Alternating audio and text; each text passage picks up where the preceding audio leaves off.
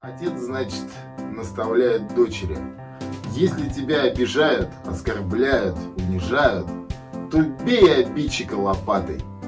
Папа, ну я же девочка. Ну, возьми розовую.